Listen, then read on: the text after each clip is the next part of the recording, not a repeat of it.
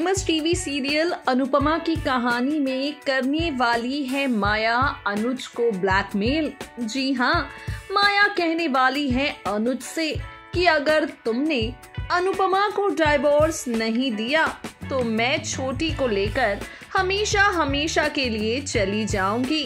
भाई माया इस बात को अच्छी तरह से जान चुकी है, जितनी ज़्यादा ज़रूरी अनुपमा अनुज के लिए है, उतनी ही ज़्यादा ज़रूरी छोटी भी है।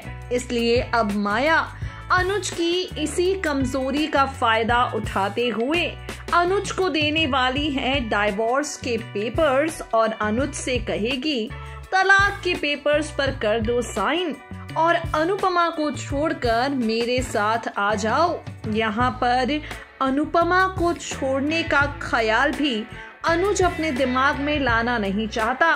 लेकिन अब माया ने शर्त ही ऐसी रख दी है कि अनुज के पास कोई और रास्ता बचेगा ही नहीं।